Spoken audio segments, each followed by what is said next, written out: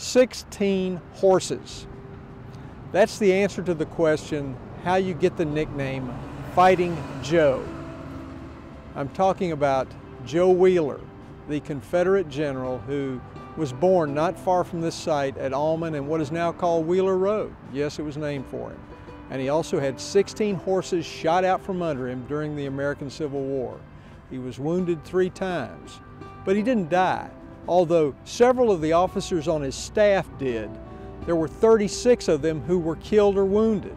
All of this is a pretty good indication of a general who didn't shy away from a fight.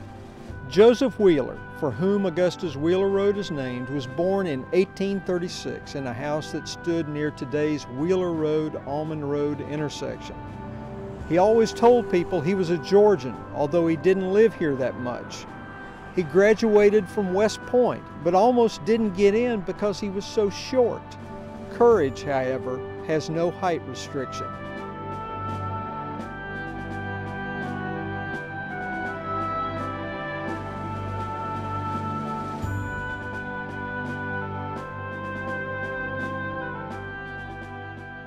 Unlike most of his horses, Joe Wheeler survived the Civil War. He went to Alabama. He became a lawyer and a businessman, and then his career, if you can believe this, became even more remarkable. And I'll tell you about that when we get back.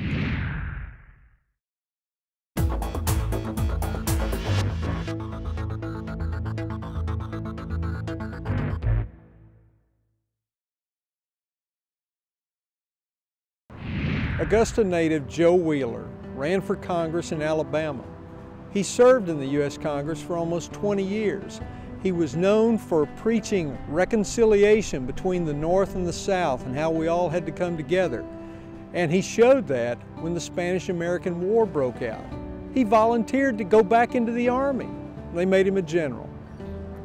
During one of his first engagements in Cuba, Wheeler was said to have shouted, Let's go, boys. We've got the damn Yankees on the run again, somewhat mixing up his enemies.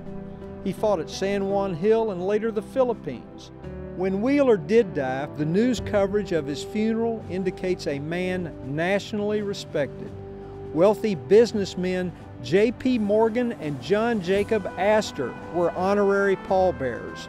Major General Frederick Grant, the son of Wheeler's old Yankee opponent General U.S. Grant, led the funeral parade.